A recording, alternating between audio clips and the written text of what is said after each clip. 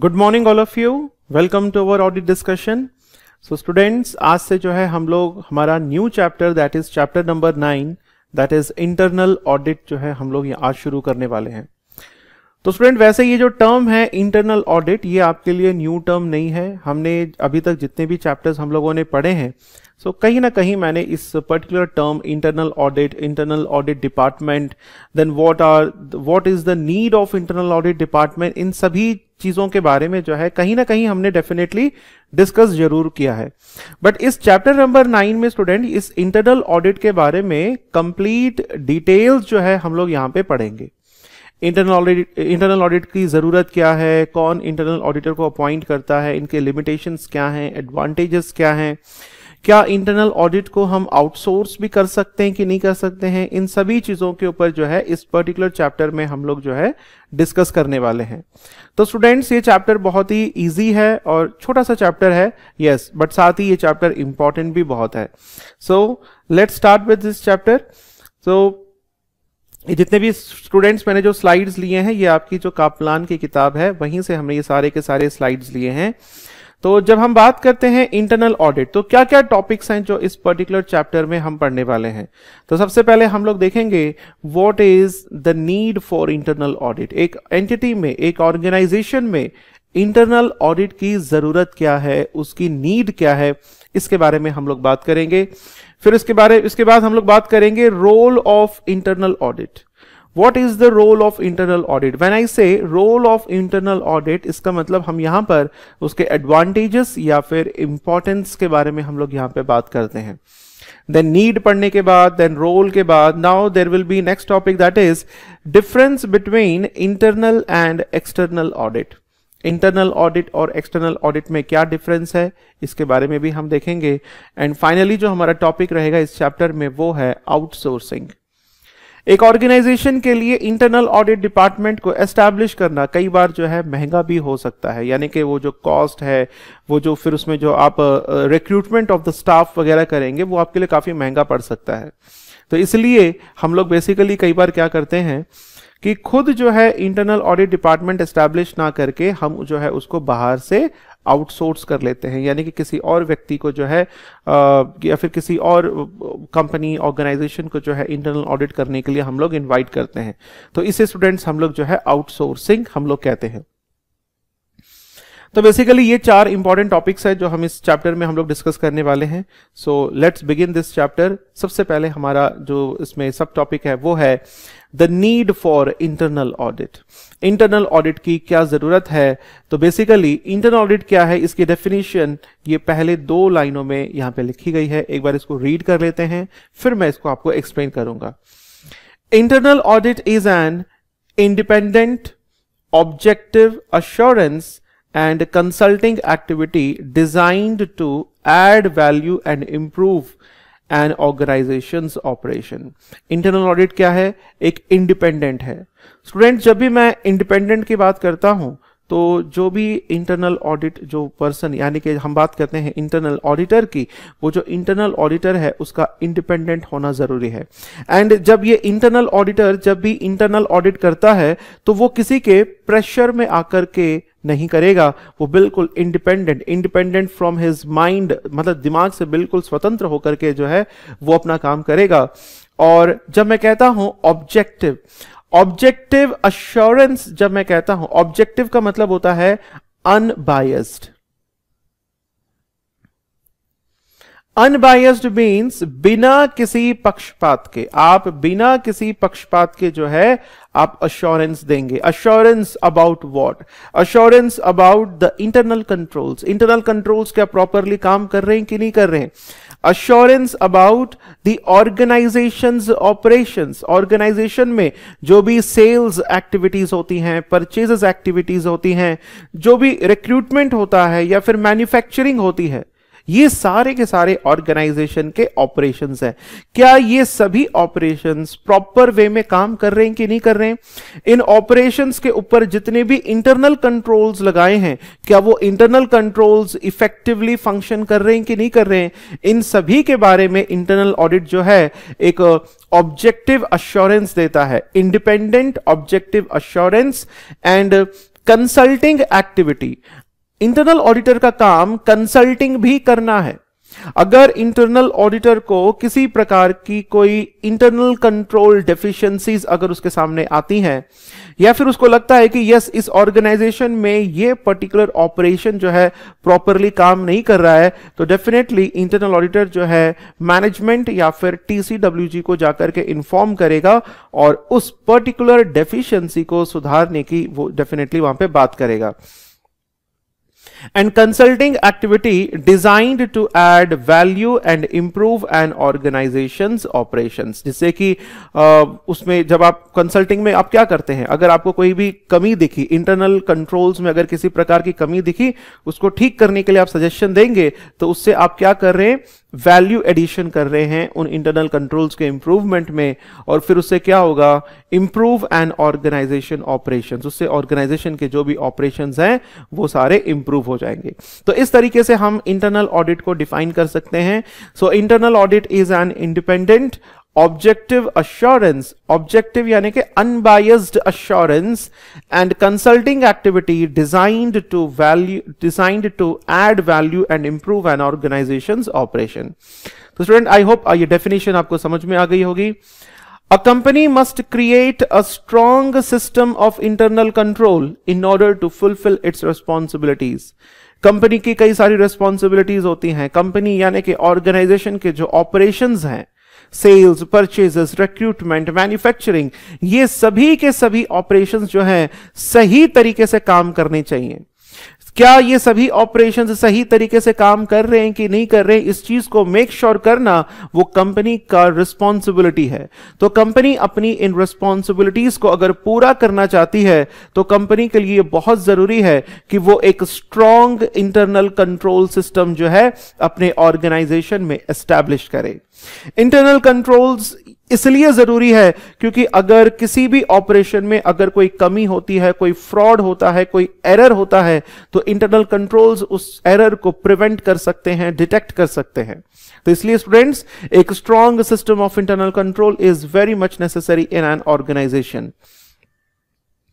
फिर आगे लिखा है however it is not sufficient to simply have mechanisms in place to manage a business the effectiveness of those mechanisms must be regularly evaluated यहाँ पर बताया गया है कि अगर एक ऑर्गेनाइजेशन में कई प्रकार के ऑपरेशंस होते हैं ऑपरेशंस यानी कि मैं दोबारा बता रहा हूँ ऑपरेशंस यानी कि सेल्स एक ऑपरेशन है purchases recruitment manufacturing all these are operations यहाँ पर यह बताया गया है कि अगर एक ऑर्गेनाइजेशन में ये सारे के सारे फ़ंक्शंस अगर होते हैं, ठीक है ना तो इन सभी फ़ंक्शंस को सही से काम करने के लिए अगर कोई इंटरनल कंट्रोल मैकेनिज्म एंटिटी के द्वारा एस्टैब्लिश किया गया है तो केवल और केवल इंटरनल कंट्रोल्स को एस्टैब्लिश करने से काम नहीं चलेगा। उन इंटरनल कंट्रोल्स को रेगुलर वे में रेगुलर बेसिस पर जो है मॉनिटर करना भी तो ज़रूरी है। अगर आप कहेंगे कि नहीं भाई, हमने अपने ऑर्गेनाइजेशन में बहुत ही इफ़ेक्टिव इंटरनल कंट्रोल्स अप्लाई कर दिए हैं तो यस ये बहुत अच्छी बात है। बट वो इंटरनल कंट्रोल्स प्रॉपर वे में काम कर रहे हैं कि नहीं कर रहे हैं, इसको, इसकी जाँच पड़ताल करना भी तो ज़रूरी है। तो इसलिए हम ये कह सकते हैं monitoring of those mechanisms monitoring of those internal controls is very much necessary for the effective functioning of the operation so It is not sufficient to simply have mechanisms in place to manage a business. The effectiveness of those mechanisms must be regularly evaluated. All systems, all systems यानी कि internal control systems जो जो आपने apply किए हैं, all systems need some form of monitoring and feedback.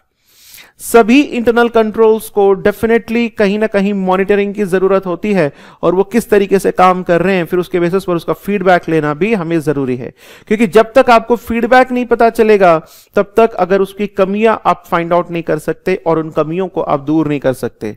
This is the role of internal audit और यही काम यही काम कि जितने भी ऑपरेशंस के ऊपर जो जो इंटरनल कंट्रोल्स एंटिटी में अप्लाई किए गए हैं, क्या वो इंटरनल कंट्रोल्स प्रॉपरली काम कर रहे हैं कि नहीं कर रहे उनको मॉनिटर करना, उनको उनमें जो भी लूप होल्स हैं, उनको इवेल्युएट करना, उनके बारे में मैनेजमेंट को इन्फॉर्म करना इंटरनल कंट्रोल डेफिशिएंसीज को आइडेंटिफाई करना, ये सब रोल जो है स्टूडेंट्स वो इंटरनल ऑडिट का ही होता है। ठीक है? तो ये हमारा एक बेसिक अंडरस्टैंडिंग था इंटरनल ऑडिट के बारे में।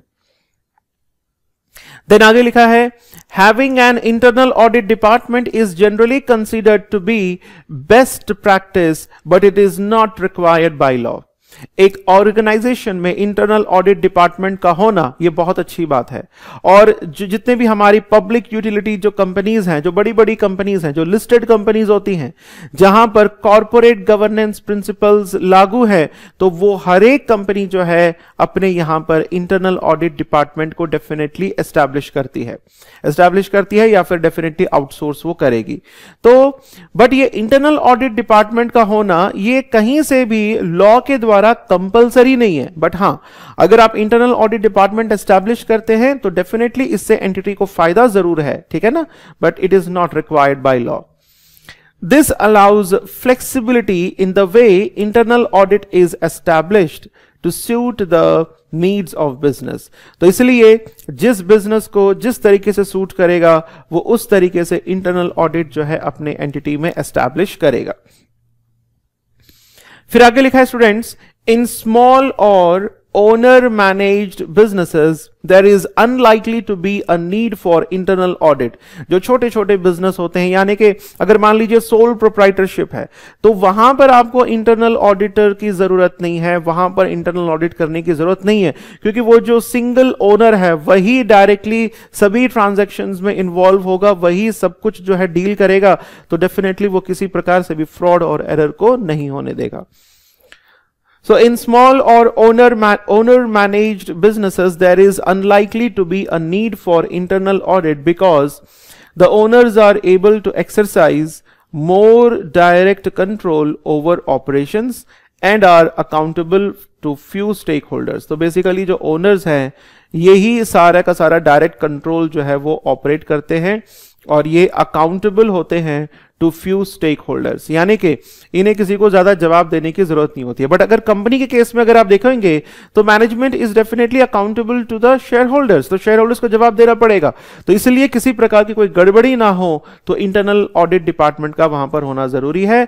बट यहाँ पर स्मॉल बिज़नेस में ओनर जो सिंगल सोल प्रोप्राइटरशिप बिज़नेस है तो वहाँ पर आपको इंटरनल ऑडिट की डेफिनेटली ज़रूरत नहीं है। फिर आगे लिखा है student the need for internal audit, therefore, will depend on.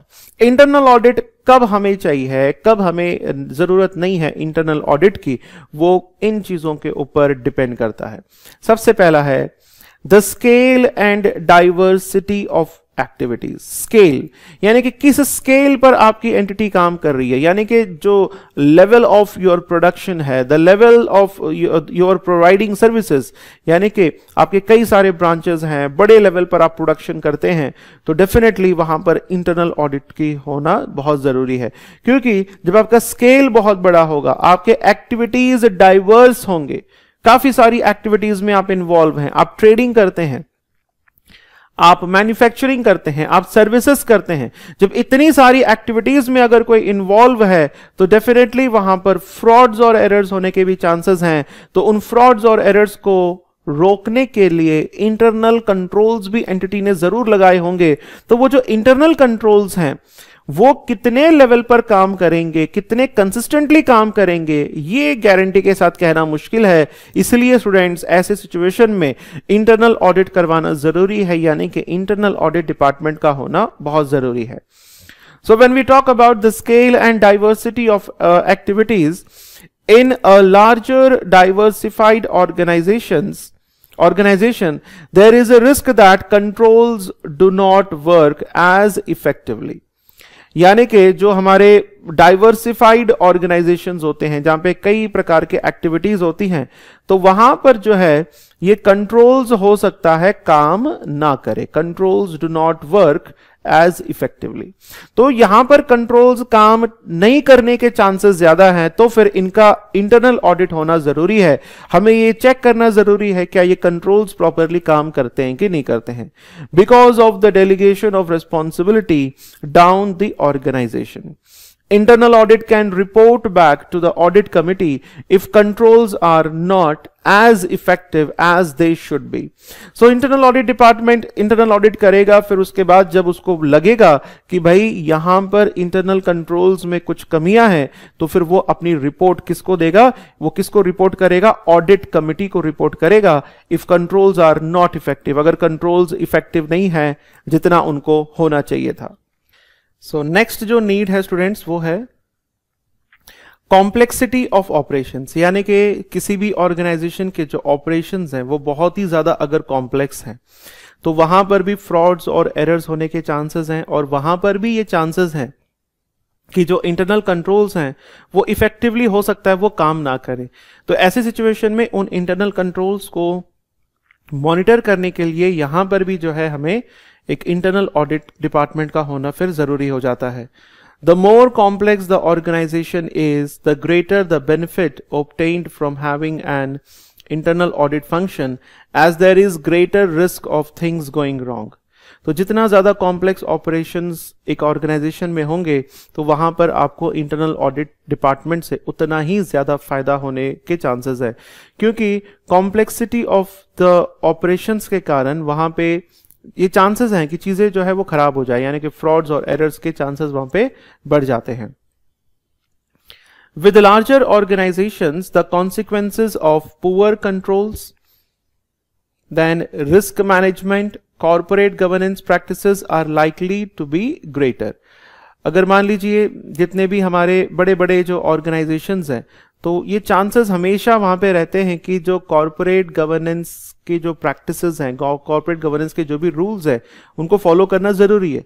But हो सकता है कि वो फॉलो ना कर रहे हो, या फिर जो इंटरनल कंट्रोल जो अप्लाई किए गए हैं, हो सकता है कि वो इंटरनल कंट्रोल्स प्रॉपरली ना काम कर रहे हो। इवन जो रिस्क मैनेजमेंट के रिगार्डिंग है, यानी कि जो मैनेजमेंट एंटिटी से रिलेटेड जो भी बिज़नेस रिस्क है, उनके बारे में भी हो सकता है अप्रोप्रिएट नॉलेज ना हो। तो इन सभी चीज़ों के बारे में एक जो एक तरीके से मॉनिटर करके जो ऑडिट कमिटी को इन्फॉर्म करने की जो ज़िम्मेदारी होती है, वो इंटरनल ऑडिट डिपार्टमेंट की होती है। तो इसलिए जहाँ पर कॉम्प्लेक्सिटी ऑफ़ ऑपरेशंस होते हैं तो वहाँ पर इंटरनल ऑडिट डिपार्टमेंट का होना ज़रूरी है। ना next point is the number of employees जिस ऑर्गेनाइजेशन में बहुत ज़्यादा एम्प्लॉयज़ होते हैं तो डेफिनेटली वहाँ पर फ्रॉड होने के चांसेस और ज़्यादा बढ़ जाते हैं। तो ऐसे सिचुएशन में वहाँ पे जो इंटरनल कंट्रोल्स हैं, वो कितने इफेक्टिवली काम कर रहे हैं, ये जानना भी हमारे लिए बहुत ज़रूरी है और ये जानने के लिए डेफिनेटली फिर इंटरनल ऑडिट फ़ंक्शन यहाँ पे ज़रूरी है। So the greater the number of employees the greater the risk of fraud जितने ज़्यादा नंबर ऑफ़ एम्प्लॉयज़ होंगे, उतना ही ज़्यादा जो है फ्रॉड का रिस्क यहाँ पे रहेगा। नाउ नेक्स्ट uh, जो पॉइंट है that is cost benefit consideration इसका क्या मतलब है? वॉट इज़ कॉस्ट बेनिफिट कई बार क्या होता है स्टूडेंट्स अगर मान लीजिए एक ऑर्गेनाइजेशन में अगर आप इंटरनल ऑडिट डिपार्टमेंट को एस्टैब्लिश करते हो तो मान लेते हैं आपको टू थाउज़ेंड डॉलर्स का खर्च आएगा। अगर आप अपने ऑर्गेनाइजेशन में इंटरनल ऑडिट डिपार्टमेंट को एस्टैब्लिश करते हैं तो आपको कुल मिलाकर के जो खर्चा आपको आएगा वो टू थाउज़ेंड डॉलर का आएगा। बट अगर मान लो आपने ये इंटरनल ऑडिट डिपार्टमेंट को एस्टैब्लिश नहीं किया तो फिर ये 2000 का खर्चा आपको नहीं आएगा। बट हाँ इंटरनल ऑडिट डिपार्टमेंट ना होने के कारण एंटिटी को जो लॉस हो, हो होने के जो चांसेस हैं वो है eight thousand dollars internal audit department establish करने के बाद, जब internal audit department internal controls को मॉनिटर करेगा, फिर उसकी जो डेफिशिएंसीज हैं, उनको जाकर के रिपोर्ट करेगा तो फिर उसको सुधारेंगे तो फिर जो है ये लॉस नहीं होगा।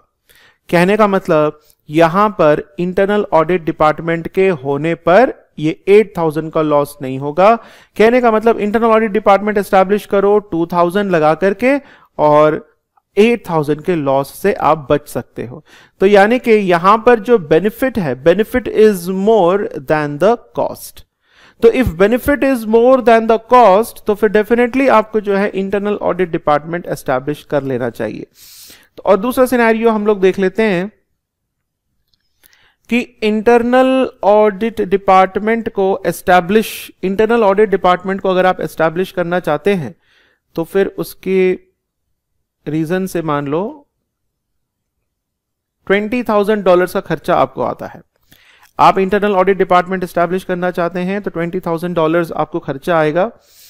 फिर, इस खर्चे से आप कंपनी को जो लॉस जिससे आप कंपनी को बचा सकते हो, वो लॉस मान लेते हैं टेन थाउज़ेंड का टेन थाउज़ेंड डॉलर है।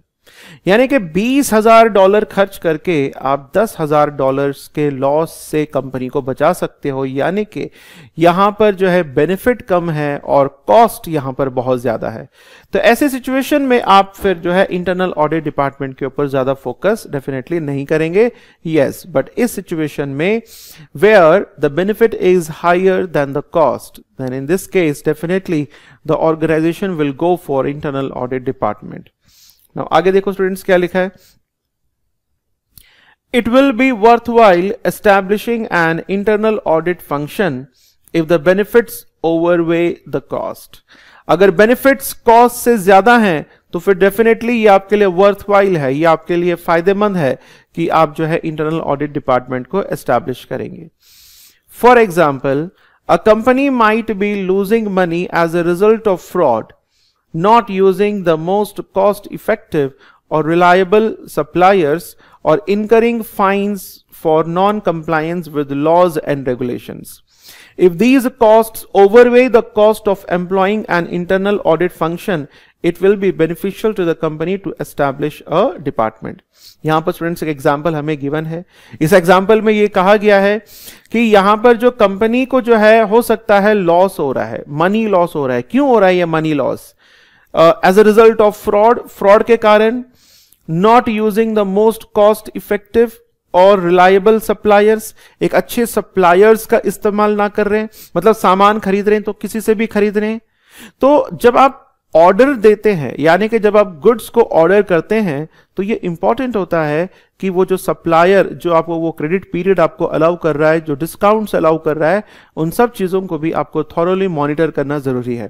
और ये सारी चीज़ें internal audit I mean internal controls का जो है एक बहुत बड़ा यहाँ पे रोल प्ले करता है। और incurring fines for non compliance with laws and regulations अगर आप किसी पर्टिकुलर लॉज यानी कि कोई कॉर्पोरेट गवर्नेंस का कोई लॉ है रेगुलेशन है अगर आप उसको फॉलो नहीं करते हैं तो डेफिनेटली आपके ऊपर फाइन लगेगा तो अगर ये पूरा का पूरा जो कॉस्ट है अगर ये कॉस्ट इंटरनल ऑडिट डिपार्टमेंट पर किए जाने वाले खर्चों से अगर बहुत ज़्यादा है तो डेफिनेटली आपको इंटरनल ऑडिट डिपार्टमेंट जो है वो एस्टैब्लिश करना चाहिए तो यही यही वाली बात लास्ट में बताई गई है if these costs overweigh the cost of employing an internal audit function यानी कि ऊपर ये जितने भी कॉस्ट बताए गए हैं जो लॉसेस बताए गए हैं अगर ये इंटरनल ऑडिट फ़ंक्शन को एम्प्लॉय uh, करने के कॉस्ट से अगर ज़्यादा है then it will be beneficial to the company to establish a department. तो डेफिनेटली ये कंपनी के लिए फ़ायदा है कि वो इंटरनल ऑडिट डिपार्टमेंट को एस्टैब्लिश करे।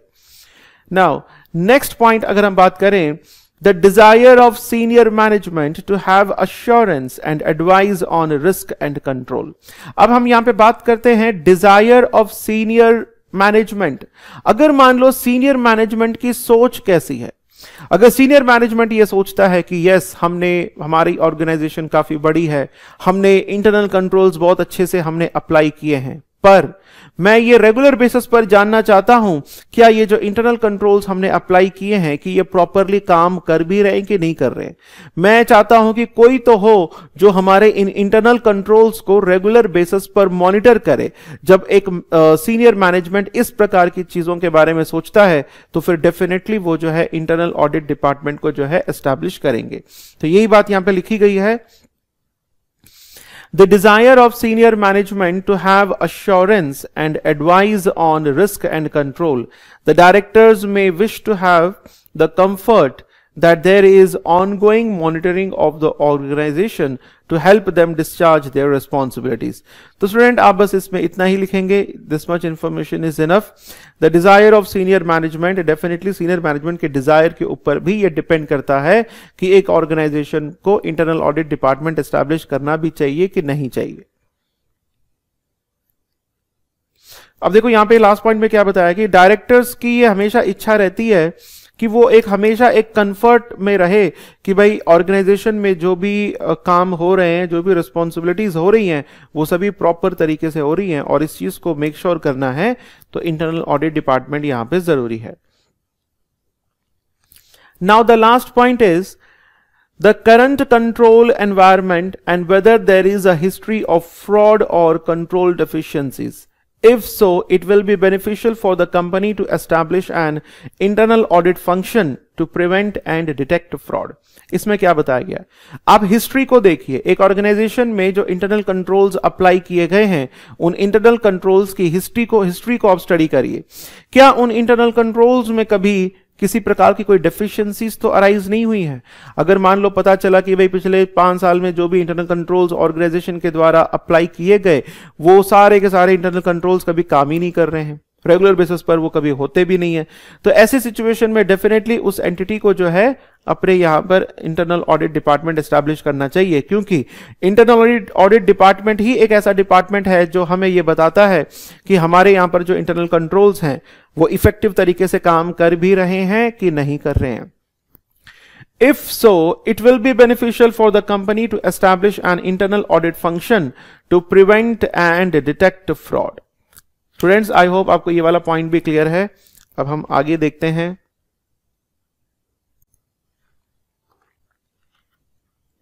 सो so, इस टॉपिक के बाद जो नेक्स्ट टॉपिक है हमारा that is the next sub topic that is topic number two and here the difference between internal and external auditors internal auditor और एक्सटर्नल ऑडिटर इन दोनों में डिफरेंस क्या है?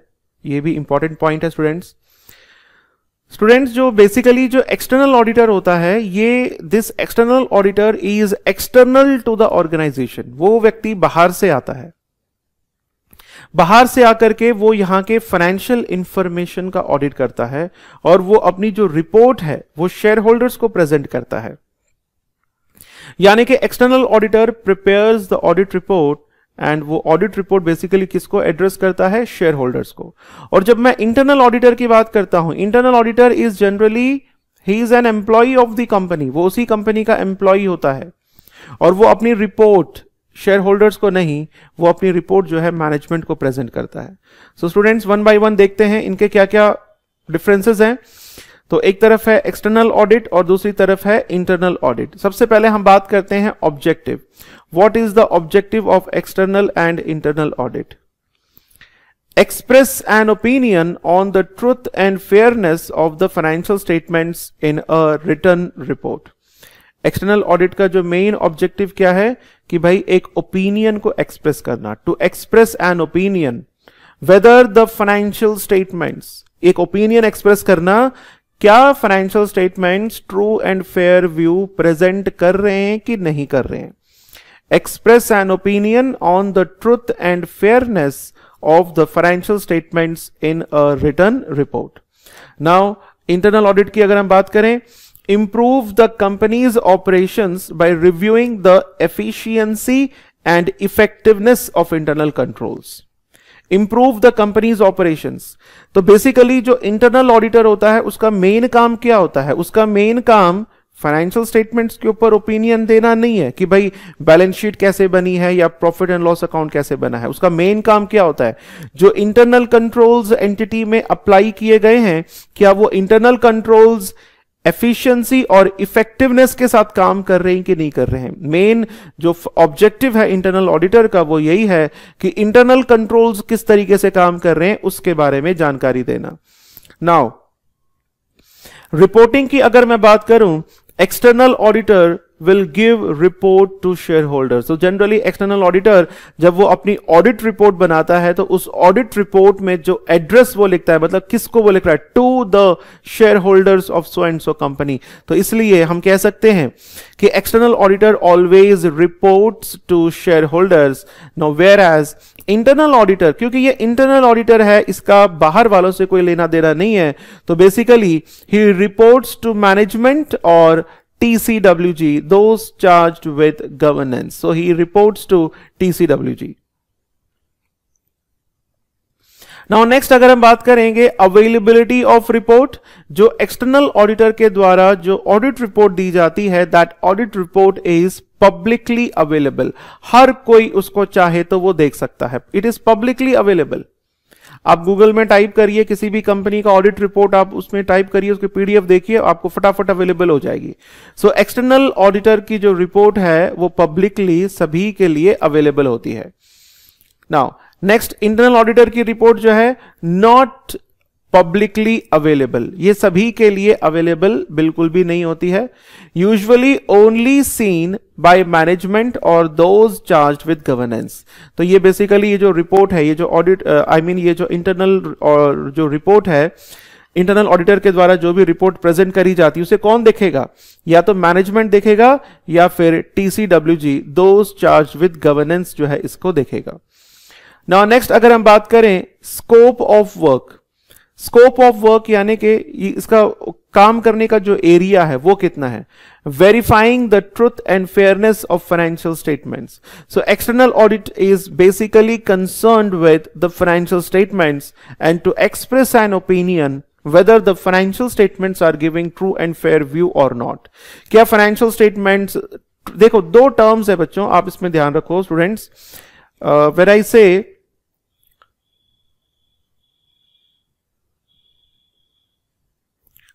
true and fair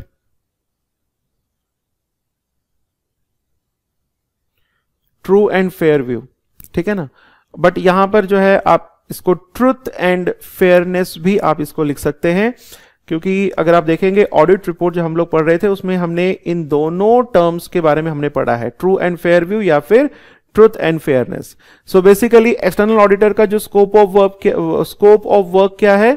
Verifying the truth and fairness of the financial statements और वहीं internal auditor का scope of work क्या है?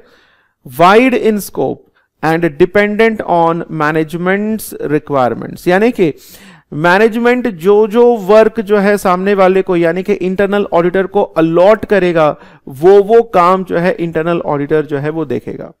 तो इसलिए हम कह सकते हैं कि इंटरनल ऑडिटर का जो काम है, वो कोई लिमिटेड नहीं है।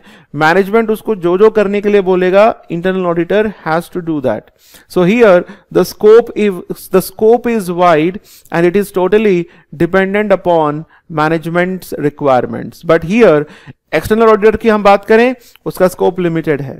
उसको बस इतना बताना है कि आप financial statements are giving truth and fairness मतलब एक्सटर्नल ऑडिटर ये वेरीफाई करेगा कि वेदर द फाइनेंशियल स्टेटमेंट चाहे profit and loss account balance sheet cash flow statement क्या ये सभी ट्रुथ एंड फेयरनेस के बारे में बताते हैं कि नहीं बताते हैं? Next point students appointment and removal तो हम कह सकते हैं कि external auditor is generally appointed by the shareholders of the company and also if anyone want to remove the external auditor वो कौन है? शेयर होल्डर्स ही एक्सटर्नल ऑडिटर को रिमूव कर सकते हैं। देन इंटरनल ऑडिटर को कौन अपॉइंट करेगा?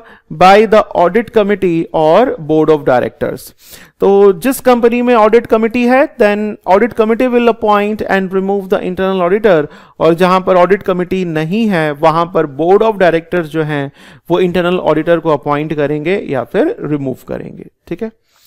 ना इसके आगे नेक्स्ट जो हमारा पॉइंट है रिलेशनशिप विद कंपनी जो एक्सटर्नल ऑडिटर होता है, उसका कंपनी के साथ, यानी कि जिस कंपनी में वो ऑडिट करना ऑडिट करने जा रहा है, उससे कोई रिलेशन नहीं होना चाहिए। यानी कि must be independent of the company company से उसका किसी प्रकार से कोई लेना देना नहीं है। कोई उधारी उससे नहीं करनी है, उसका रिश्तेदार भी नहीं होना चाहिए। किसी भी टाइप का रिलेशनशिप जो है, उससे नहीं हो सकता। क्योंकि जब रिलेशनशिप नहीं होगा तभी तो वो इंडिपेंडेंट होकर के अपना काम करेगा। इसलिए हम कह सकते हैं he must be external auditor must be independent of the company वही अगर हम दूसरी तरफ़ बात करें इंटरनल ऑडिटर की may be employees which limits independence तो जनरली जो इंटरनल ऑडिटर होते हैं, अगर मान लो आप किसी इंटरनल ऑडिट डिपार्टमेंट को आउटसोर्स नहीं करते हो आपका खुद का इंटरनल इंटरनल ऑडिट डिपार्टमेंट है तो फिर क्या है? वो इंटरनल ऑडिटर जो है, आपके अपने एम्प्लॉयज़ होते हैं। तो जब वो आपके अपने एम्प्लॉयज़ हैं तो डेफिनेटली इंडिपेंडेंस वहाँ पर क्या है? लिमिटेड हो जाती है। और an outsourced function which enhances independence अगर आप खुद का इंटरनल ऑडिट डिपार्टमेंट एस्टैब्लिश ना करके इंटरनल ऑडिट डिपार्टमेंट को आउटसोर्स करते हो, यानी कि बाहर से किसी ऑर्गेनाइजेशन को जो है आप अपॉइंट करते हो for your internal audit function तो उस सिचुएशन में क्या है? हम कह सकते हैं कि यस इंडिपेंडेंस जो है वो डेफिनेटली इंक्रीज हो जाएगी, ठीक है ना? तो इस तरीके से स्टूडेंट ये सारे पॉइंट जो है हम लोगों ने यहाँ पे कवर कर लिए हैं।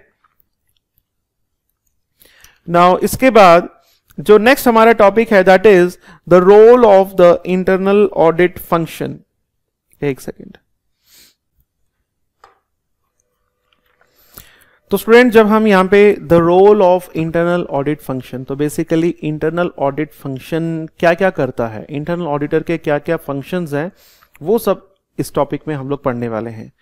The role of internal audit can vary depending on the requirements of the business तो बेसिकली इंटरनल ऑडिटर के कई सारे काम होते हैं। जैसे जब मैं अगर मान लीजिए, अगर हम एक्सटर्नल ऑडिटर की बात करते हैं like for example external audit के जो वर्क है, वो लिमिटेड है। वो क्या है? To express an opinion to express an opinion on financial statements whether the financial statements are giving true and fair view और नॉट तो ये एक्सटर्नल ऑडिटर के ऑब्जेक्टिव कह लो या फिर उनका की एक्टिविटी कह लो। बट इंटरनल ऑडिट फ़ंक्शन के जो की एक्टिविटीज़ हैं, वो डिपेंड करता है depend on the requirements of the business business क्या क्या इंटरनल ऑडिटर से करवाना चाहता है तो वो वो काम इंटरनल ऑडिटर को करने पड़ते हैं। तो स्टूडेंट यहाँ पर काफ़ी एग्जॉस्टिव एक अच्छी खासी लिस्ट हमें, हमारी किताब में गिवन है। तो वन बाय वन इन सभी एक्टिविटीज़ को हम लोग देखेंगे कि मेनली इंटरनल ऑडिट के क्या क्या फ़ंक्शन है। तो सबसे पहले बताया गया है की activities of the internal audit function internal audit function के मेन एक्टिविटीज़ क्या क्या है? The first point assessing whether the company is demonstrating best practice in corporate governance. जिन जिन कंपनीज़ के ऊपर कॉरपोरेट गवर्नेंस प्रिंसिपल्स अप्लाई होते हैं, क्या वो कंपनीज़ अपने ऑर्गेनाइजेशन में अच्छी तरीके से कॉरपोरेट गवर्नेंस के प्रिंसिपल्स को फॉलो कर रहे हैं कि नहीं कर रहे हैं, इस बात को एसेस करना। इस बात को मेक श्योर sure करना कि एक कंपनी कॉरपोरेट गवर्नेंस के प्रिंसिपल्स को प्रॉपरली फॉलो कर भी रही है कि नहीं कर रही है यानी कि कॉरपोरेट गवर्नेंस प्रिंसिपल्स को चेक करना इंटरनल ऑडिट का एक मेन फ़ंक्शन है now second point is evaluating the company's risk identification and management processes. Now, this is again the next important. Now, student जब हम यहाँ पे बात करते हैं रिस्क आइडेंटिफिकेशन हर एक कंपनी को हर एक मैनेजमेंट को हर एक ऑर्गेनाइजेशन को अपने यहाँ पर जिस जिस भी बिज़नेस में वो इंडल्ज है उस बिज़नेस में उनके सामने क्या क्या रिस्क आ सकते हैं? और उस रिस्क को कैसे वो मैनेज करेंगे? क्या इस चीज़ को इवेल्युएट किया जा रहा है कि नहीं किया जा रहा है? कहने का मतलब यहाँ पर इंटरनल ऑडिट डिपार्टमेंट का मेन काम क्या है, वो ये देखेगा, जिस एंटिटी में वो इंटरनल ऑडिट कर रहा है, जैसे मान लो एबीसी कंपनी है। एबीसी लिमिटेड है और आप, यानी कि mister X is the internal auditor of ABC limited तो इस मिस्टर एक्स का मेन काम क्या होगा? कि वो कौन कौन से बिज़नेस रिस्क हैं जो एबीसी लिमिटेड को इफ़ेक्ट कर सकते हैं। एबीसी लिमिटेड के लिए लॉस क्रिएट कर सकते हैं। वो सारे रिस्क जो है आपको रिस्क फैक्टर्स आपको देखने पड़ेंगे। लाइक फॉर एग्ज़ाम्पल स्टूडेंट्स की, अगर मान लीजिए आपका जो बिज़नेस है, किसी, कोई ऑर्गेनाइजेशन है, उसका बिज़नेस जो है इंपोर्ट और एक्सपोर्ट का बिज़नेस है। तो जब भी आप इंपोर्ट एक्सपोर्ट का बिज़नेस करते हैं तो डेफिनेटली उसमें जो एक्सचेंज रेट होता है, वो एक बहुत बड़ा फैक्टर होता है। अगर मान लीजिए, अगर किसी भी कंट्री का अगर मान लो एक्सचेंज रेट अगर बढ़ जाता है, यानी कि वहाँ की करेंसी डेप्रिशिएट होती है तो डेफिनेटली उस कंट्री से जो है एक्सपोर्ट बहुत ज़्यादा बढ़ेगा। और वही रिवर्स होता है तो फिर एक्सपोर्ट जो है एकदम से कम होगा। यानी कि एक्सचेंज रेट एक यहाँ पर एक बहुत बड़ा रिस्क है। देन टफ कंपटीशन है। तो इस प्रकार से उस कंपनी में there are so many risk involve तो उन रिस्क को आइडेंटिफाई करना और साथ में यह भी देखना कि उस रिस्क को किस तरीके से मैनेजमेंट जो है उसको हैंडल कर रही है।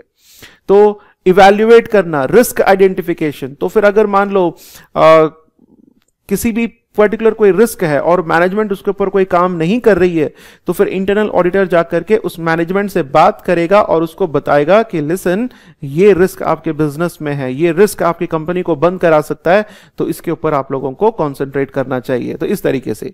तो सेकेंड काम है evaluating the company's risk identification now third point is testing the effectiveness of internal controls entity के अंदर जो इंटरनल कंट्रोल्स अप्लाई किए गए हैं, वो इंटरनल कंट्रोल्स कितने अच्छी तरीके से काम कर रहे हैं, उसको टेस्ट करना। और टेस्ट करने पर जब ऑडिटर को यह पता चलता है, यानी कि इंटरनल ऑडिटर को जब यह पता चलता है कि भाई इंटरनल कंट्रोल्स में तो बहुत सारी डेफिशिएंसीज हैं तो फिर ये इंटरनल ऑडिटर इस बात की इंफॉर्मेशन जो है, इस बात की जो भी जानकारी है, वो सामने वाले को यानी कि मैनेजमेंट को देगा या फिर टीसीडब्ल्यू को देगा और वो उसको जो है रेक्टिफाई करेंगे। नाउ नेक्स्ट पॉइंट अगर हम बात करें assessing the reliability of financial and operating information. Financial information कुछ भी हो, यानी कि सेल्स से रिलेटेड परचेजेस कोई भी फाइनेंशियल इंफॉर्मेशन हो, यानी कि बिज़नेस को रन करने से रिलेटेड कोई भी इंफॉर्मेशन क्यों ना हो, चाहे वो फाइनेंशियल हो, चाहे वो ऑपरेटिंग हो तो वो जो इंफॉर्मेशन रिलायबल है या नहीं कहीं उसमें कोई फ्रॉड तो नहीं है, कहीं मतलब ये वाला काम तो बेसिकली एक्सटर्नल ऑडिटर भी करता है, पर ये वाला काम इंटरनल ऑडिटर को भी करना पड़ता है। इंटरनल ऑडिटर को यह देखना पड़ेगा कि फाइनेंशियल स्टेटमेंट्स में जो भी इंफॉर्मेशन गिवन है, क्या वो सही है कि गलत है? उसमें कोई फ्रॉड या एरर तो नहीं है? Whether that information is reliable और नॉट उसको एसेस करने का काम भी जो है इंटरनल ऑडिटर करता है। यानी कि assessing the reliability of financial and operating information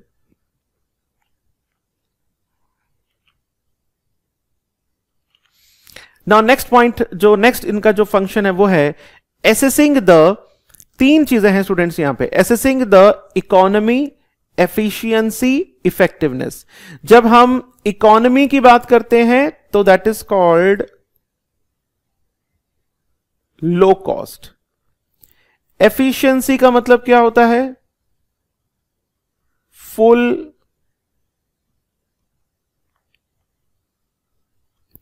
utilization of resources.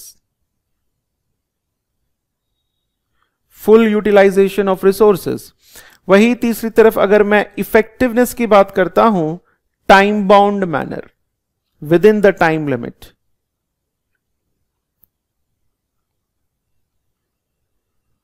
within the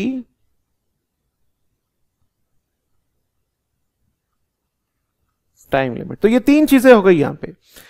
economy यानी कि लो कॉस्ट एफिशिएंसी यानी कि full utilization of resources and effectiveness यानी कि within the time limit तो assessing the economy efficiency and effectiveness of operating activities यानी कि एक ऑर्गेनाइजेशन में जो भी ऑपरेटिंग एक्टिविटीज़ हो रही है, यानी कि अगर आप सेल्स करते हो परचेजेस करते हो, या फिर किसी एम्प्लॉयज़ का रिक्रूटमेंट एचआर एक्टिविटीज़ करते हैं। तो ये सारी की सारी चीज़ें जो है तीन लेवल पर होनी चाहिए। यानी कि सस्ते में होनी चाहिए और इन रिसोर्सेज का फुल यूटिलाइजेशन होना चाहिए और इफेक्टिवनेस यानी कि within the time limit होना चाहिए, तभी तो आपको वैल्यू फॉर मनी आपकी मनी का जो है प्रॉपर यूटिलाइजेशन होगा। तो क्या एंटिटी इस तरीके से काम कर रही है, नहीं कर रही है, इस बात को एसेस करना भी इंटरनल ऑडिट कर इंटरनल ऑडिटर का मेन काम है। Next point is assessing compliance with the laws and regulations. क्या ऑर्गेनाइजेशन जिस जिस जिस पे भी इंटरनल ऑडिट आप कर रहे हो, क्या वो ऑर्गेनाइजेशन अपने से रिलेटेड सभी लॉज एंड रेगुलेशंस को प्रॉपरली कंप्लाई कर रही है, नहीं कर रही है? इस बात का एसेस करना भी इंटरनल ऑडिटर का ही काम है। Now the last point is providing recommendations on the prevention and detection of fraud internal auditor जो है इंटरनल कंट्रोल्स को एसेस करेगा। इंटरनल कंट्रोल्स में अगर किसी प्रकार की कोई गड़बड़ी होगी तो डेफिनेटली इंटरनल ऑडिटर जो है मैनेजमेंट को रिकमेंडेशन देगा कि आपके इंटरनल कंट्रोल में इस इस प्रकार से कमियाँ हैं। तो इसके चलते यहाँ पर prevention and detection of fraud नहीं हो पा रहा है। तो आपको कैसे आपको और क्या करना चाहिए जिससे कि आप फ्रॉड को टाइमली बेसिस पर प्रिवेंट भी कर सको और डिटेक्ट भी कर सको तो उसके बारे में जो जो रिकमेंडेशंस ज़रूरी हैं, वो सारी रिकमेंडेशंस जो है इंटरनल ऑडिटर जो है मैनेजमेंट को देगा फिर आगे लिखा है students Most of these activities can be seen as helping management comply with corporate governance requirements. तो बेसिकली ऊपर जितने भी एक्टिविटीज़ हमने देखी हैं तो ये सारी की सारी एक्टिविटीज़ बेसिकली इस बात पर फोकस्ड हैं कि कंपनी जो है कॉरपोरेट जो है आई मीन मैनेजमेंट जो है, वो कॉरपोरेट गवर्नेंस के रिक्वायरमेंट्स को फुलफिल कर रही है। तो कॉरपोरेट गवर्नेंस की वन ऑफ़ द रिक्वायरमेंट ही है कि कंपनी के अंदर इंटरनल ऑडिट डिपार्टमेंट होना चाहिए। कॉर्पोरेट गवर्नेंस का ही वन ऑफ़ द रिक्वायरमेंट है कि एक इंटरनल ऑडिट डिपार्टमेंट होगा, जो कि एंटिटी के अंदर इंटरनल कंट्रोल्स को एसेस करेगा। तो ये सारे जितने भी पॉइंट्स हैं स्टूडेंट्स बेसिकली ये सारे के सारे कॉरपोरेट गवर्नेंस रिक्वायरमेंट्स ही हैं, जो कि मैनेजमेंट को कंप्लाई करने पड़ते हैं, और इन सभी को मेक श्योर sure करना इंटरनल ऑडिटर की ही रिस्पॉन्सिबिलिटी है। नाउ स्टूडेंट अब यहाँ पर हम बात करते हैं एडिशनल रोल्स के बारे में हम लोग बात करते हैं। यानी कि पीछे तो हमने ये जितने भी बुलेटेड पॉइंट्स हैं, यहाँ पर हमने ये पढ़ लिया कि ये जो इंटरनल ऑडिट फ़ंक्शन है, ये किस तरीके से जो है ये काम करता है, उसको क्या क्या उसकी क्या क्या मेन उसके एक्टिविटीज़ हैं। तो ये तो की हमने पढ़ लिया। अब यहाँ पर बताया गया है कि कुछ एडिशनल रोल्स यानी कि जो हमने पीछे पढ़े, उनके अलावा इंटरनल ऑडिटर के क्या क्या भूमिका है, उसके क्या क्या रोल है। In addition to the above, internal audit will carry out ad hoc assignments.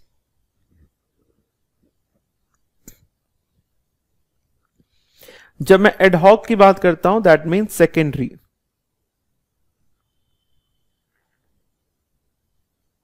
ad hoc mean secondary In addition to the above, internal audit will carry out ad hoc assignments as required by the management. Management और भी अगर कोई भी काम अगर internal audit department को सौंपेगा तो वो सारे काम जो है internal auditor को करने होंगे जैसे for example fraud इन्वेस्टिगेशन अगर मैनेजमेंट कहता है इंटरनल ऑडिट डिपार्टमेंट से कि भाई यहाँ पर ये फ्रॉड हुआ है तो प्लीज़ आप इस फ्रॉड को इन्वेस्टिगेट करो तो डेफिनेटली फिर इंटरनल ऑडिट डिपार्टमेंट उसको इन्वेस्टिगेट करेगा। दिस में involve detecting fraud identifying the perpetrator of fraud fraud को डिटेक्ट करना देन uh, आइडेंटिफाइंग जो फ्रॉड करता है उसको फाइंड आउट करना किसने फ्रॉड किया and quantifying the loss to the company as a result of fraud और साथ में यह भी बताना कि कंपनी को कितने अमाउंट का यहाँ पे लॉस हुआ है। तीन चीज़ें। फ्रॉड को पता करना, किसने ये फ्रॉड किया और इस फ्रॉड के चलते कंपनी को कितने पैसों का लॉस हुआ है, यानी कि अमाउंट का लॉस हुआ है इन तीनों चीज़ों के बारे में। The next point is IT system reviews when I say IT system जो हमारा इंफॉर्मेशन टेक्नोलॉजी से रिलेटेड जो भी सिस्टम है, जो भी कंट्रोल्स हैं, उन सभी को इंटरनल ऑडिटर जो है डेफिनेटली रिव्यू करता है। Performing a review of the computer environment and controls her organisation आज हर ऑर्गेनाइजेशन में कंप्यूटर एनवायरमेंट है। तो वो जो कंप्यूटर एनवायरमेंट है, क्या वो प्रॉपर है या नहीं है, उसका रिव्यू करना भी इंटरनल ऑडिटर का ही एडिशनल रोल में आ जाता है। The next one is mystery shopper visits. For retailer and service companies, the internal audit staff can pose as customers to ensure that customers service is at the required level. अच्छा इसका क्या मतलब है mystery shopper visits? mystery यानी के unknown. अब होता क्या है अगर मान लो कोई एक कंपनी है, कोई रिटेल कंपनी है, उसमें एक इंटरनल ऑडिट डिपार्टमेंट है तो रिटेल कंपनी या फिर सर्विस कंपनी के लिए कस्टमर सेटिस्फैक्शन बहुत इंपॉर्टेंट है। अगर रिटेल एंड सर्विस कंपनीज़ में अगर कस्टमर सेटिस्फाइड है, कस्टमर प्रॉपरली सेटिस्फाइड है तो इससे वो ऑर्गेनाइजेशन वो जो कंपनी में जो है और ज़्यादा सेल्स बढ़ेंगे। यानी कि यहाँ पर कस्टमर भगवान का रूप है। इस टाइप की जो लॉजिक है यहाँ पे काम करती है। तो यहाँ पर इंटरनल ऑडिट डिपार्टमेंट बेसिकली करता क्या है? वो खुद एक कस्टमर बन करके उसी कंपनी में कोई प्रोडक्ट को खरीदता है या फिर कोई सर्विस को अवेल करने की कोशिश करता है। तो जब वो किसी प्रोडक्ट को खरीदता है तो जो कंपनी का स्टाफ है, वो किस तरीके से इस इंटरनल ऑडिट डिपार्टमेंट का जो भी पर्सन है स्टाफ है उनसे वो किस तरीके से बिहेव करते हैं, कैसे वो अपने प्रोडक्ट को सेल करते हैं, इन सभी चीज़ों को जो है ये लोग देखेंगे और ये देखेंगे क्या यहाँ पर कस्टमर सर्विस जो है, जिस रिक्वायर्ड लेवल पर कस्टमर सर्विस प्रोवाइड करनी चाहिए, वो प्रोवाइड हो रही है कि नहीं हो रही है, ये आपको देखना पड़ेगा। So mystery shopper visits For retail and service companies, the internal audit staff can pose as customers. Retail और service company में जो internal audit staff है वो एक customer की तरह वो खुद को बिहेव मतलब कस्टमर की तरह बिहेव करेंगे to ensure that customer service is at the required level मतलब करते हैं ना कि वो छुप करके अपने ही राज्य का देखना कि भाई कौन सुखी है, कौन दुखी है तो ये लोग भी ऐसे ही कर रहे हैं। एक मतलब एक कस्टमर की तरह जो है खुद को बना करके प्रोडक्ट खरीद के दे रहे हैं, क्या स्टाफ प्रॉपरली सामान बेच पाता है कि नहीं बेच पाता है। नेक्स्ट है स्टूडेंट्स नेक्स्ट जो इनका एडिशनल जो रोल है वो है contract audits sure that where material और long term contracts are entered by the organization the contract is written to protect the organization appropriately and contractual terms are being adhered to by the supplier in line with the service level agreement. Organization जब भी grow करता है तो उसको कई सारे contracts करने पड़ते हैं, कई सारे एग्रीमेंट्स करने पड़ते हैं। तो ऑर्गेनाइजेशन ने किसी और के साथ सप्लायर्स के साथ, या किसी भी, किसी के साथ भी कोई भी अगर कॉन्ट्रैक्ट किया है तो उस कॉन्ट्रैक्ट को पढ़ करके, उस कॉन्ट्रैक्ट में क्या चीज़ें लिखी गई हैं? क्या वो कॉन्ट्रैक्ट रिटर्न है? क्या वो कॉन्ट्रैक्ट प्रॉपरली साइंड है? क्या उस कॉन्ट्रैक्ट के जितने भी टर्म्स हैं, क्या उसको ऑर्गेनाइजेशन या फिर सप्लायर प्रॉपरली फॉलो कर रहे हैं कि नहीं कर रहे हैं? इन सभी चीज़ों को जो है इंटरनल ऑडिट जो है, उसको चेक करेगा वेरीफाई करेगा। यानी कि वो क्या करेगा? कॉन्ट्रैक्ट का ऑडिट करेगा। Next point is asset verification ये काम भी इंटरनल ऑडिटर करता है such as performing cash count जो भी लॉकर्स uh, में जो भी कैश है उसको काउंट करना and physical inspection physical inspection of non current assets to verify existence कई बार क्या होता है students non current asset register में जो एसेट लिखी गई है, हो सकता है कि जब हमने उसका फ़िज़िकल वेरिफिकेशन करने हम लोग गए तो वो एसेट वहाँ पर नहीं थी। तो इसलिए physical inspection of non current assets to verify existence now next point is providing direct assistance to external auditor ये पॉइंट हम ऑलरेडी चैप्टर नंबर जो एविडेंस वाला हमारा चैप्टर है, उसमें हम लोग पढ़ चुके हैं कि आईएसए 610 के हिसाब से as per international standards on audit 610 जो इंटरनल ऑडिटर है, वो एक्सटर्नल ऑडिटर को डेफिनेटली असिस्टेंस यानी कि हेल्प प्रोवाइड करेगा। Providing direct assistance to the external auditor internal audit staff can help the external auditor with other procedures under their supervision तो यहाँ तक स्टूडेंट्स ये पॉइंट्स हैं।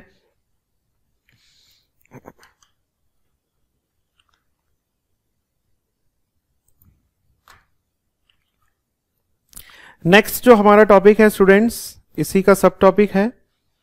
That is qualities of an effective internal audit function देखिए, अगर internal audit function को effective होना है, अगर इंटरनल ऑडिटर हमारा एफिशिएंट या फिर इफ़ेक्टिव नहीं है तो फिर उसको अपॉइंट करने का कोई पर्पस नहीं है। तो क्या क्या क्वालिटीज होनी चाहिए एक इफ़ेक्टिव इंटरनल ऑडिट फ़ंक्शन के लिए? क्या क्या क्वालिटीज है? The first point is sufficiently resourced कई बार क्या होता है स्टूडेंट्स ये जो इंटरनल ऑडिट डिपार्टमेंट को एस्टैब्लिश करना बहुत महँगा पड़ जाता है। तो कई ऑर्गेनाइजेशंस हिम्मत करती हैं और वो इंटरनल ऑडिट डिपार्टमेंट को अपने यहाँ पे एस्टैब्लिश करती हैं। बट हो सकता है कि वहाँ पर स्टाफ की कमी हो। तो यानी कि इंटरनल ऑडिट डिपार्टमेंट के पास किसी भी प्रकार से रिसोर्सेस की कमी नहीं होनी चाहिए। वहाँ पर स्टाफ प्रॉपर होना चाहिए और उनको फाइनेंस की भी कमी नहीं होनी चाहिए। क्योंकि जब तक उनके पास रिसोर्सेज नहीं है, तब तक वो इफेक्टिवली काम नहीं कर सकते। इसलिए हम ये कह सकते हैं sufficiently resourced both financially and in terms of qualified experience staff internal audit department में आप जो भी रिक्रूटमेंट्स करते हैं, वो सारे के सारे प्रोफेशनल्स होने चाहिए एक्सपीरियंस्ड होने चाहिए, तभी वो लोग जो है अपना इंटरनल ऑडिट फ़ंक्शन जो है अच्छी तरीके से कर पाएँगे। तो इसलिए यहाँ पे बहुत ज़रूरी है कि इंटरनल ऑडिट डिपार्टमेंट अगर कभी भी एस्टैब्लिश करते हो, वो सफिशियंटली रिसोर्स्ड यानी कि उसके पास जो संसाधन होने चाहिए, वो अच्छे खासे होने चाहिए। नेक्स्ट पॉइंट अगर हम बात करें well organized so that it has well developed work practices ना अब हम जब यहाँ पे बात करते हैं वेल ऑर्गेनाइज्ड वेल ऑर्गेनाइज्ड ये एक बहुत ही एक एक तरीके से ब्रॉड टर्म है. Whenever we use the term well organize यानी कि जो इंटरनल ऑडिट डिपार्टमेंट होगा, उसकी हमें जो है एक हरारिकी लेवल जो है हमें बतानी होगी. लाइक फॉर एग्ज़ाम्पल इसके नीचे जैसे मान लो कोई चार हैं, फिर इसके नीचे कोई दो हैं इस तरीके से आपको जो है एक hierarchy level who is the top most official who is the responsible one फिर उसके under who is the chief inter internal auditor फिर उसके अंडर में कौन है, फिर उसके अंडर में कौन है? तो जब तक आप इस प्रकार से एक हरारिकी आप प्रॉपरली मेंटेन नहीं करेंगे, वो वेल ऑर्गेनाइज्ड नहीं होगा। क्योंकि हरारिकी मेंटेन होगी, तभी जो है आप वर्क जो है डेलीगेट कर पाएँगे। The delegation of work can only possible work delegation करेंगे रिस्पॉन्सिबिलिटी जो है आप नीचे वाले को डेलीगेट करेंगे। फिर जो, जिस व्यक्ति को जो रिस्पॉन्सिबिलिटी यानी कि there should be a proper demarcation of role and responsibilities कौन क्या काम करेगा, उसका रोल उसकी रिस्पॉन्सिबिलिटी ये सारी की सारी प्रॉपरली डिमार्केटेड होनी चाहिए। तभी हम कह सकते हैं कि ये जो इंटरनल ऑडिट डिपार्टमेंट है, ये वेल ऑर्गेनाइज्ड है। अगर ये वेल ऑर्गेनाइज्ड होगा, तभी वो work practices well developed work practices यानी कि वो जो भी काम अपने हाथ में लेगा सिस्टमैटिक तरीके से, एक टाइम बाउंड मैनर में जो है, उसको वो कंप्लीट करेगा। तो इसलिए इंटरनल ऑडिट डिपार्टमेंट का वेल ऑर्गेनाइज्ड होना बहुत ज़रूरी है। नेक्स्ट पॉइंट अगर देखेंगे students independent and objective to provide an unbiased view of the organization operation एक इंटरनल ऑडिट डिपार्टमेंट एक इंटरनल ऑडिट फ़ंक्शन इफ़ेक्टिव कब हो सकता है? जब वो बिल्कुल इंडिपेंडेंट होकर के, स्वतंत्र होकर के, बिना किसी के दबाव में एंड ऑब्जेक्टिव होकर के ऑब्जेक्टिव यानी कि बिना किसी के पक्ष, बिना किसी पक्षपात के बिना किसी के दबाव में, यानी कि इंडिपेंडेंट ऑब्जेक्टिव यानी कि बिना किसी पक्षपात के, वो अनबायस्ड होकर के जब वो ये कहे कि इस ऑर्गेनाइजेशन के जो ऑपरेशन हैं वो सही हैं या गलत हैं, या फिर इसमें फलाना फलाना कमियाँ हैं, जब आप इस प्रकार की चीज़ों को इंडिपेंडेंट एंड ऑब्जेक्टिव होकर के सामने रखते हो, तभी हम कह सकते हैं इंटरनल ऑडिट फ़ंक्शन जो है वो इफ़ेक्टिव है। तो स्टूडेंट यहाँ पर एक इंपॉर्टेंट पॉइंट ये भी आ जाता है कि जनरली जो इंटरनल ऑडिटर होता है, वो ऑर्गेनाइजेशन का एम्प्लॉय होता है। तो यानी कि अगर इंटरनल ऑडिट डिपार्टमेंट के सारे स्टाफ अगर उसी ऑर्गेनाइजेशन के एम्प्लॉय हैं तो हो सकता है कि वो इंडिपेंडेंट फिर ना रहें। इसलिए हमें ज़रूरी होता है कि अगर आप किसी बाहर से अगर आप कोई भी इंटरनल ऑडिट फ़ंक्शन को अगर आप आउटसोर्स करवाते हैं, बाहर से अगर कोई इंटरनल ऑडिटर्स आते हैं इंटरनल ऑडिट करने के लिए तो फिर वहाँ पर इंडिपेंडेंस बहुत अच्छे से बनी रहती है। नेक्स्ट पॉइंट अगर हम बात करें the chief internal auditor should be appointed by the audit committee to reduce management bias students generally अगर हमने ये कॉर्पोरेट गवर्नेंस में भी हम लोगों ने पढ़ा था कि ऑडिट कमिटी में जनरली जो मेंबर्स होते हैं, वो हमारे नॉन एग्जीक्यूटिव डायरेक्टर्स होते हैं। और ये नॉन एग्जीक्यूटिव डायरेक्टर्स जो हैं, अगर ये नॉन एग्जीक्यूटिव डायरेक्टर्स अगर चीफ इंटरनल ऑडिटर का अपॉइंटमेंट करते हैं तो फिर मैनेजमेंट जो पक्षपात करने की सोचता है तो फिर वो पक्षपात वो नहीं कर सकते। मैनेजमेंट अपने किसी पसंदीदा व्यक्ति को ला करके इंटरनल ऑडिटर नहीं बनाएँगे, क्योंकि मैनेजमेंट तो यही चाहेगा कि भाई उनका कोई आदमी जो है इंटरनल ऑडिटर बने। तो इसलिए ये इंपॉर्टेंट है कि चीफ इंटरनल ऑडिटर जो भी अपॉइंट होगा, वो कौन करेगा? He should be appointed by the audit committee the next point is the department should have no operational responsibilities to reduce the threat of self review now understand this point. जो internal audit department है internal audit department को आप ऐसे नहीं कर सकते कि भाई तुम बिज़नेस का ये जो एंटिटी के जो ऑपरेशंस हैं, वो भी तुम देख लो। आप ऐसा कभी भी नहीं बोल सकते इंटरनल ऑडिट डिपार्टमेंट से कि तुम फाइनेंशियल स्टेटमेंट्स भी प्रिपेयर कर लो, तुम इंटरनल ऑडिट भी प्रिपेयर इंटरनल ऑडिट भी तुम कर लो। तुम सेल्स ट्रांजेक्शन भी तुम देख लो परचेज भी तुम देख लो और साथ ही साथ तुम इंटरनल ऑडिट भी कर लो। क्योंकि अगर इंटरनल ऑडिट डिपार्टमेंट को अगर आप कोई भी ऑपरेशनल रिस्पॉन्सिबिलिटी देते हैं तो इंटरनल ऑडिटर ने जो काम किया है, उसको, वो तो वो तो फिर उसको हमेशा सच ही बोलेगा, उसको तो सही बोलेगा, क्योंकि यहाँ पर जो है सेल्फ रिव्यू थ्रेट अराइज होता है। सेल्फ रिव्यू थ्रेट क्या होता है? कि आपने जो काम किया है, उसको आप गलत कभी भी नहीं ठहरा सकते।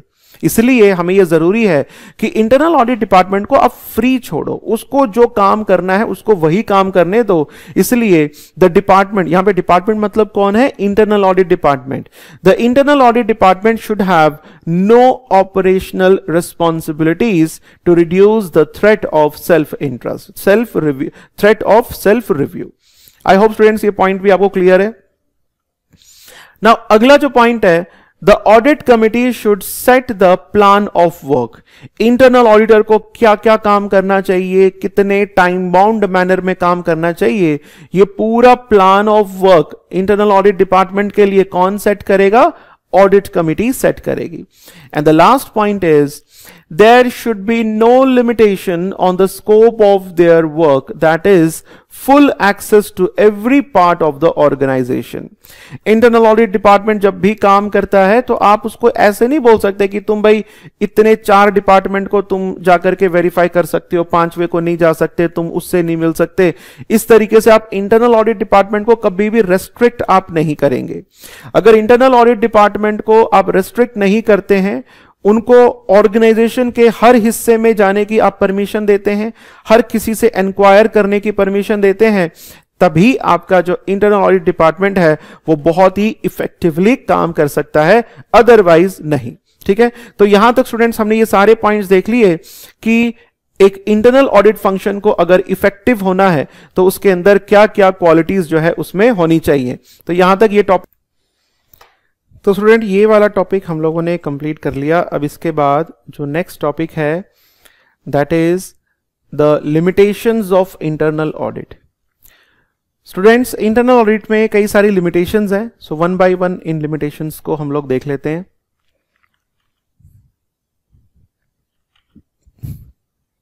The first limitation is internal auditors may be employees of the company they are reporting on and therefore may not wish to raise issues in case they lose their job तो बेसिकली इंटरनल ऑडिटर्स हमने पहले भी discuss किया कि ये जो internal auditors होते हैं, ये कंपनी के ही एम्प्लॉयज़ होते हैं। कंपनी के ही एम्प्लॉयज़ होते हैं। और अगर ये इंटरनल ऑडिटर्स अगर मान लो इनके सामने कोई इश्यू आ जाता है तो किसी मैनेजमेंट का कोई ऑफिशियल है, उसके खिलाफ अगर को कुछ बोलना है तो फिर ये हो सकता है कि अपनी नौकरी गंवाने के डर से फिर वो उस इश्यू को रेज ही ना करे। तो ये एक मतलब यहाँ पर जो है इंडिपेंडेंट फिर यहाँ पर जो है इंटरनल ऑडिटर नहीं रह पाता। इंटरनल ऑडिटर्स में be employees of the company they are reporting on and therefore may not wish to raise issues फिर वो किसी प्रकार का कोई इश्यू भी रेज करने का उनका मन नहीं करेगा in case they lose their job now next point है, अगर मान लो उनको लगता है कि मैं कोई इशू इशू रेज करूँगा, उससे मेरी नौकरी जाएगी तो फिर वो शांत बैठेंगे। सोचेंगे, यार, क्यों रेज करना? क्यों अपनी नौकरी गंवाना? इसलिए। Now next limitation is in smaller organization in particular internal audit may be managed as part of finance function तो छोटे ऑर्गेनाइजेशन में होता क्या है? ये जो इंटरनल ऑडिटर का जो काम है, वो फाइनेंस फ़ंक्शन के अंतर्गत ही उसको जो है मतलब finance function and internal audit दोनों एक ही व्यक्ति करेगा। यानी कि ये इंटीग्रेटेड काम है। तो फिर यहाँ पर एक सबसे बड़ा इश्यू ये हो जाता है कि जो व्यक्ति फाइनेंस फ़ंक्शन को देखता है, वही इंटरनल ऑडिट अगर वो करता है तो डेफिनेटली यहाँ पे सेल्फ रिव्यू थ्रेट आ जाएगा और वो कभी भी डेफिशिएंसीज को बाहर नहीं निकालेगा। they will therefore have to report on the effectiveness of financial systems of which they form a part मतलब जिस फाइनेंशियल सिस्टम को जिन्होंने उन्होंने ही प्रिपेयर किया था और हम उम्मीद करते हैं कि वही उसके बारे में रिपोर्ट करेंगे तो फिर and may be reluctant to say their department has deficiencies तो इसलिए वो हिचकिचाएँगे। यानी कि जिस व्यक्ति ने फाइनेंशियल सिस्टम्स को प्रिपेयर किया है, जिसने फाइनेंशियल स्टेटमेंट्स जिसने प्रिपेयर करे हैं, क्या आप उसी व्यक्ति को बोलो कि भाई तुम एक बार फाइनेंशियल स्टेटमेंट्स का रिव्यू करके दो, बताओ कि इसमें कोई कमियाँ तो नहीं है? तो डेफिनेटली फिर आप अपने ही डिपार्टमेंट की, अपने ही मैनेजर की कमियों को फाइंड आउट नहीं करेंगे। तो यहाँ पर बेसिकली यहाँ पर लिखा नहीं है बट यहाँ पर दिक्कत क्या जाती है? Self review self review threat यहाँ पे बात आ जाती है self review threat now next जो लिमिटेशन है वो ये है if the internal audit staff have worked in the organization for a long time अगर कोई इंटरनल ऑडिटर कई सालों से उस ऑर्गेनाइजेशन में काम कर रहा है पॉसिबली इन डिफरेंट डिपार्टमेंट्स अलग अलग डिपार्टमेंट्स में there may be a familiarity threat as they will be auditing the work of long standing colleagues and friends आप मान लो इंटरनल ऑडिटर हैं और पिछले 20 साल से 15 साल से एक ही ऑर्गेनाइजेशन में एज अ इंटरनल ऑडिटर आप काम कर रहे हैं।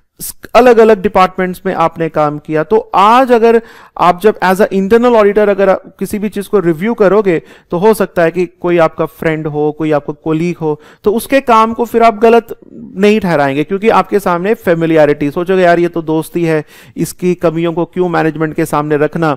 तो इस तरीके से एक फेमिलियरिटी थ्रेट होने के कारण भी आप अपनी बात जो है, यानी कि जो डिफिशियंसीज हैं डिफिशियंसीज को जो है फिर आप जो है सामने नहीं रखेंगे।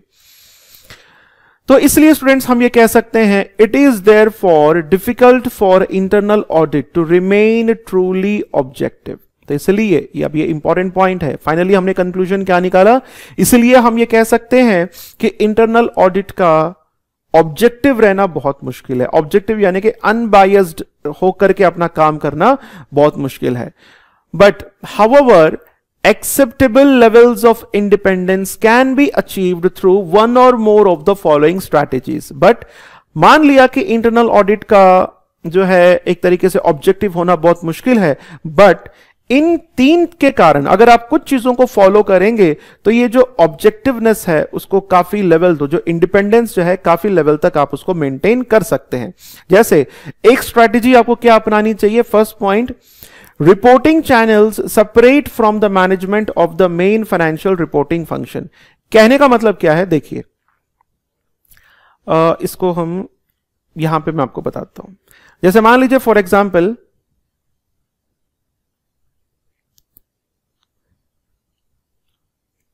for example there is a manager ये मैनेजर जो है, ये फाइनेंशियल रिपोर्टिंग करता है। फाइनेंशियल सिस्टम कह लो या रिपोर्टिंग को मेंटेन करता है ठीक है ना? अब आप एक now you are an internal auditor आप इंटरनल ऑडिटर हैं। तो आपको डेफ आप अब, अब आपको काम दिया गया है कि आप इस फाइनेंशियल सिस्टम का रिव्यू करिए। तो जब आप इस फाइनेंशियल सिस्टम का रिव्यू करेंगे तो इसकी जो रिपोर्टिंग है वो इस मैनेजर को नहीं करेंगे। आप किसी और मैनेजर को रिपोर्ट करेंगे who is not responsible for this financial state systems जिसका इस फाइनेंशियल सिस्टम से कोई लेना देना नहीं है, उस टाइप के जो अगर मैनेजर को अगर आप रिपोर्ट करेंगे तो फिर आपको एक डर नहीं रहेगा कि भाई, ये मैनेजर मेरी नौकरी तो नहीं खाएगा। इस प्रकार का डर नहीं रहेगा, और आप बिल्कुल ऑब्जेक्टिव होकर के जो है दूसरे किसी मैनेजर को आपकी जो भी डेफिशिएंसीज आपने फाइंड आउट करी हैं, उनके बारे में आप बता सकते हैं। ठीक है? तो इसलिए ये फ़र्स्ट पॉइंट बताया गया है reporting channels separate from the management of the finance of the main financial reporting function now so पहला तरीका क्या है कि जिस जिस व्यक्ति को आप रिपोर्ट कर रहे हो, उस व्यक्ति का रिलेशन जो है फाइनेंशियल सिस्टम से बिल्कुल भी नहीं होना चाहिए। He should be a separate one from the financial system now second क्या हो सकता है? सेकेंड स्ट्रैटेजी क्या हो सकती है? सेकेंड स्ट्रैटेजी ये हो सकती है reviews of internal audit work by managers independent of the function under scrutiny यानी कि इंटरनल ऑडिटर का जो भी काम है, उसको रिव्यू करने के लिए जो मैनेजर होगा, वो भी कोई और होना चाहिए। मतलब जिस मैनेजर को आपने रिपोर्ट किया है, उसके अलावा कोई और होगा जो कि इंटरनल ऑडिटर का काम को रिव्यू करेगा। And the last point is outsourcing the internal audit function to a professional third party now this is one of the main point through which you can maintain the higher level of independence for your internal audit function अगर आप किसी बाहर वाले को अगर आप outsource कर लेते हैं as a internal audit function के लिए तो डेफिनेटली वो उसके ऊपर किसी का दबाव नहीं होगा वो जो भी निर्णय देगा इंडिपेंडेंट होकर के वो अपनी बात को जो है वो रखेगा तो स्टूडेंट्स इसी के साथ हमने ये वाला टॉपिक भी हम लोगों ने कंप्लीट कर लिया कि लिमिटेशंस क्या हैं और इन लिमिटेशंस को हम कैसे ओवरकम कर सकते हैं। तो इस वीडियो में स्टूडेंट्स आज के लिए इतना ही है। बाकी टॉपिक्स जो है हम लोग नेक्स्ट वीडियो में देखेंगे। Till then have a nice day